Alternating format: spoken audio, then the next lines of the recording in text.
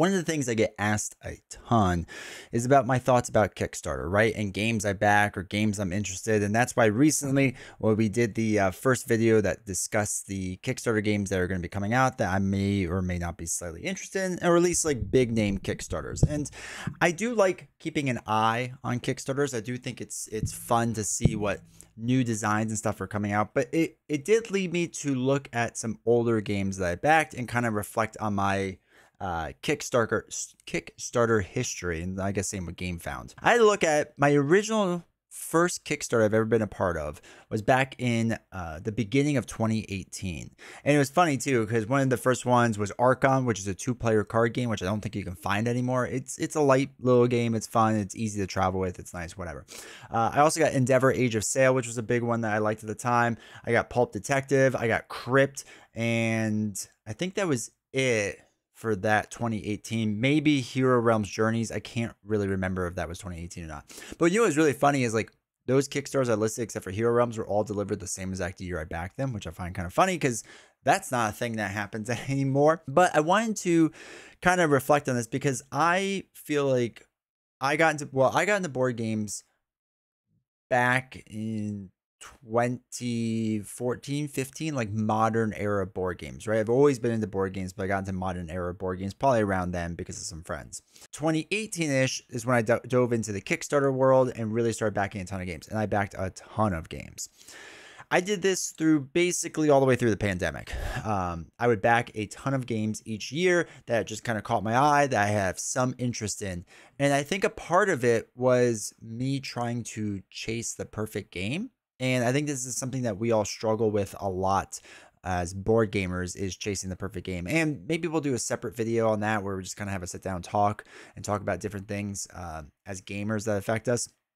But chasing the perfect board game, I think, is one, and it leads to a lot of issues in the in the industry for us as consumers. Um, and a part of the reason why content creation, I guess, exists. So I don't know.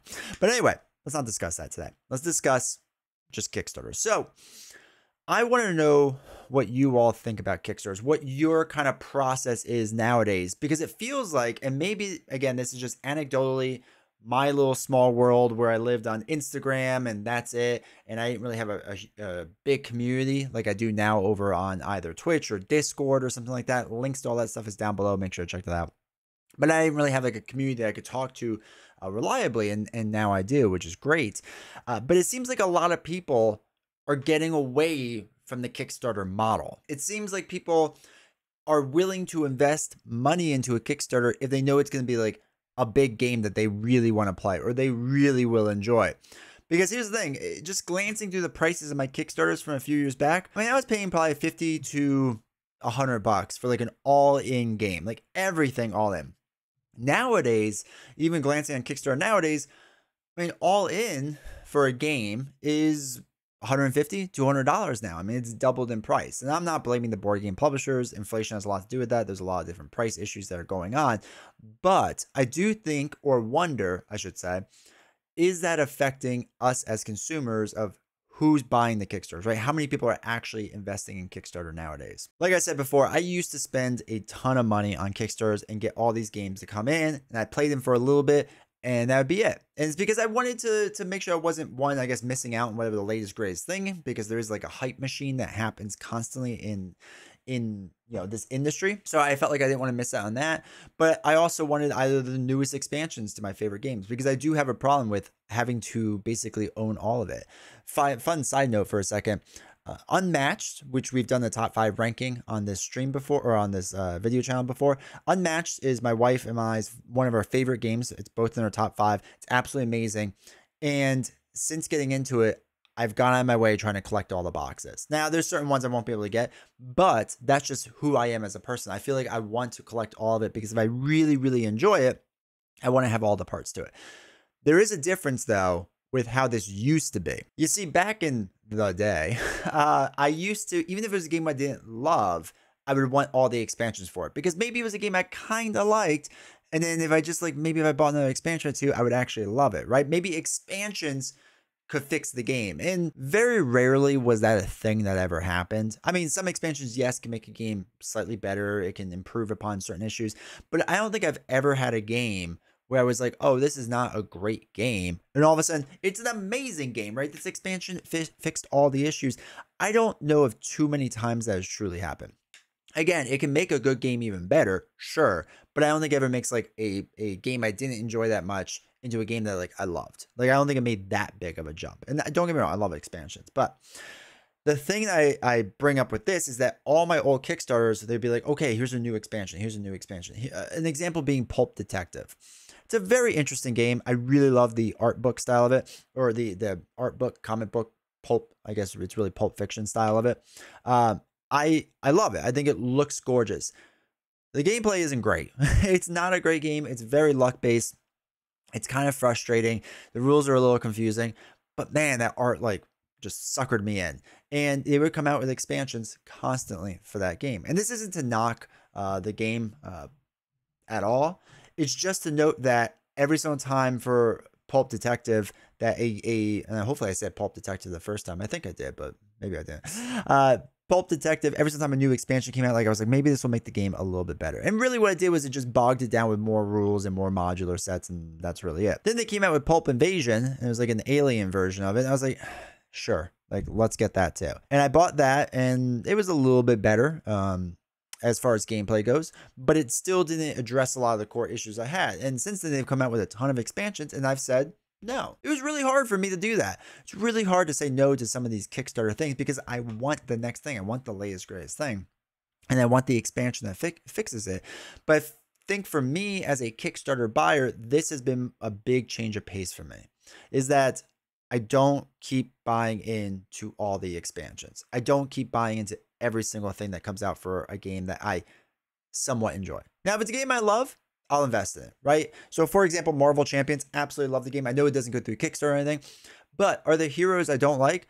Yeah, there's heroes I don't really care for. I'll play randomly, like Doctor Strange or whatever, but I still love the game. I love what the system is. I love everything about it. So I'm going to keep investing in it. And I'm just going to keep keep investing in until the game really just does something wrong, in my opinion, or I just get truly bored of it. I feel like that way of doing things for me personally has been better. Um, again, just investing heavily in games that I really enjoy. Now, on the flip side, Arkham Horror is a game that like I kind of enjoy, and I want each expansion to be better, and they have been uh, for me personally. But it's another one I invest in that kind of has been feeling like it loses its way with me now and again. That I just kind of get bored of it or tired of it or whatever it may be. Um, but yeah, it's just games like Arkham Horror or I'm trying to think of another game that's like that that keeps coming out with expansions that I invest in. I don't know if I love, but I like, but I don't love. But there's very few of those games nowadays. Actually, now thinking about it a little bit longer, I think Unsettled is a game I've still kept investing in. And I like the game. It's fine. It's interesting, its mechanics and how it works. But it's one of those things where like I don't know why I keep investing in it. Like I don't play it that much. It, it's it's good. I mean, don't get me wrong, it's good, it's enjoyable, but it's just one of those things that like I don't know. I just I just don't love, I guess. Um, and I keep thinking each new world would be something interesting, and I don't get to the table that often. Which brings me my, to my next point. Another reason I've kind of slowed down back in Kickstarters is because I want to get more games to the table. I don't have a lot of time to play board games anymore. I'm really busy with life. You know, I have a young son, I have my wife, you know, we we try to do things as a family, vacations, whatever it may be, and uh, I also want to create content. I love creating content on YouTube. I love live streaming on Twitch, whatever it may be. Um, because of those commitments, I can't play board games as much. So I don't invest in as many board games. I don't I don't have time to really spend doing a ton of stuff with different board games. So that's also kind of helped me personally of like, okay, if I have an evening to play a game, I'd rather not learn a whole new game and then try it and stumble my way through it. I'd rather play something again that I love or a smaller box game like 20 Strong or For Northwood or whatever it may be. I'd rather play games like that that I know I'm going to enjoy that are, you know, small footprint games that I can quickly play. Just get into it and then uh, play a quick game and move on my life. So, Anyway, with this whole long rambling thing, I know a lot of people ask, do you still pay attention to Kickstarter games? Yes, absolutely. Because there are certain games I'm going to back.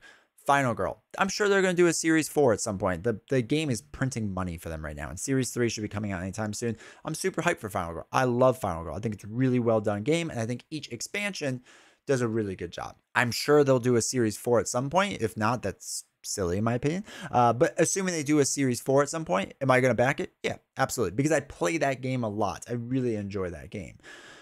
Other games like Spire's End, I'm a big fan of. Uh, he only comes out with a, a game seems like once a year or every other year, so I don't really mind waiting on that as as much. So I love Spire's End. I loved Hildegard.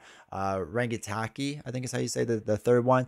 Uh, big fan of that. I think that's gonna be really good and exciting. So um, yeah, that's basically how I've kind of approached Kickstarters nowadays. And like I said, I want to know how you all do it. Do you feel like you, as the consumer and as the player, do you still purchase Kickstarters at the rate you used to, let's say before the pandemic?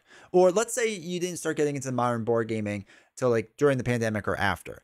Has it slowed down at all? Or are you still in like peak Kickstarter time where like, hey, whatever's the latest greatest thing, I want to invest in it because I want to see, you know, what it is. I, I want to see if it, it helps uh, make a game better. Or is, is it expansions or is it new games? Like i'm really kind of genuinely curious about that how you all approach these things. Because i don't know if like tides are shifting or again it's just a perception thing because i'm in my like small world bubble now, if you want to do me a huge favor, make sure look at all the links down below. There's tons of ways to help this channel. I would greatly appreciate if you want to become a member for 99 cents. That's awesome. It helps out this channel. There's a bunch of links for affiliates. If you're ever looking to buy things on Amazon, check out the Amazon affiliate link. If you're using a VPN service, it's a VPN. There's a ton of different affiliate links. All that stuff helps out this channel a ton. It helps out a ton. And I really appreciate everyone that supports the channel.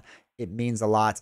And lastly, big shout out to my patrons over on Patreon. Make sure you go check out that. There's blog posts that go up every now and again. They get exclusive videos, lots of cool stuff. The link to that, like I said, is down below. Make sure you check out uh, the video. I'll put another video up that will uh, probably discuss something that you're interested in. I don't know. YouTube's going to pick it for me. So we'll see. Thank you so much. Like, subscribe, comment. See you all later.